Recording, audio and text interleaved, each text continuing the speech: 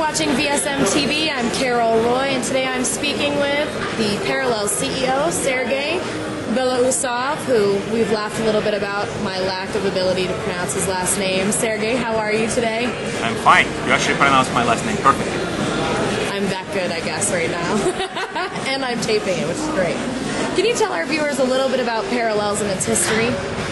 Parallels was founded at the end of 99. We developed virtualization and automation software. Uh, one of the very important uh, differentiations for our company is that we are uh, we develop heterogeneous virtualization and automation software, and we focus also on service providers, not only on the large enterprises. Now, we spoke with Parallels a few months ago. Any news since then? Well, there's lots of news happening this year. In general, the virtualization space is really turbulent. I mean, one of the big news which has happened is that uh, uh, produced by VMware changed their executive management, and, and that uh, change continues to unveil. And we have done a number of announcements since that time. Uh, in general, if you look at Parallels 12 months ago and Parallels 12 months from now, it will look quite a bit uh, different.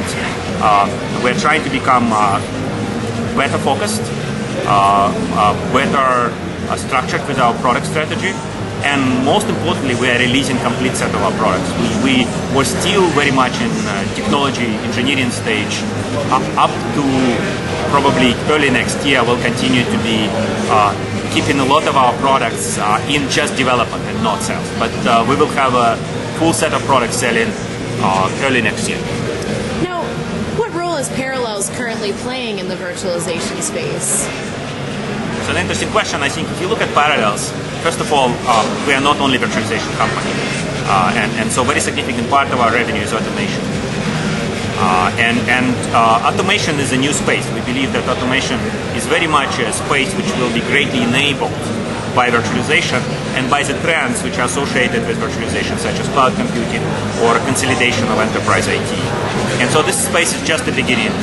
Uh, then, if you look at our virtualization offering, uh, we basically uh, occupy a number of very important niches. Uh, we are not a broad market player just yet. We are going broad market uh, as we have all of our products completed uh, early next year. But we have a number of important niches. For example, service provider space. It's becoming a broad market, but it used to be a niche. And in that niche, we have uh, definitely very strong position with our parallel Virtuozzo containers. Or virtualization for Mac. That's another space where we, we are playing very important role. Or virtualization for Itanium. Or virtualization for highly scalable workloads. And so on and so forth. We also believe that we have a very good uh, uh, play in, in VDI uh, due to the density characteristics of our container technology. Tell us about Parallel's new VDI relationships. I know there have been several. You know, first of all, uh, the most important relationship we have in this space is with Quest uh, Provision Networks, and we have announced bundling uh, just about a month ago, a little bit uh, more than that.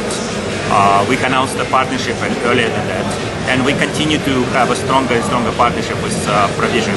So they're primary partner in that space. In addition to that, uh, we continue to entertain our strategy to be heterogeneous. And so we intend to partner with all of the major uh, VDI uh, vendors. Uh, and, and, we announced the relationship with Alex, which is USB support, which will help us with provision as well. And, and then uh, recently, most recently, we announced relationship with Ericom, which is also a partnership in VDI space. Similar to Provision, and, and you know, there are some uh, important differentiations in Ericom technology which are important for us to have the partnership obviously, we're sitting here at the AquaKnox restaurant at VMworld 2008. We've just started the day. What are you most looking forward to, and what is, you know, your Parallel's most important objective while here at VMworld? Well, you know, for better or for worse, this year is a year of a lot of strange changes in virtualization. So we did have uh, uh, Microsoft coming out with uh, technology, and that should make things relatively unstable. Unstable is not bad. It's potentially good, especially for smaller companies like ours, but uh, it wasn't enough. We also had a number of acquisitions such as Sun trying to enter virtualization space. I wouldn't actually count it as very serious. Uh, uh, Red Hat recently buying QumraNet, which is another relatively unusual move. and most importantly, executive management changes at, at VMware. And, so that makes the space highly turbulent. It's not clear what's going to happen uh, with VMware, with VMworld. Um, you know, VMware is clearly the most uh, important vendor in the space today, uh, and yet it's in, in the under most attack. And VMworld is a conference. I'm really looking forward to find out what's the VMware new strategy is. Now, you guys are out on the conference floor. Where can our viewers find you, and what will they find at the Parallels booth this year? Uh, our booth is 1123. I'm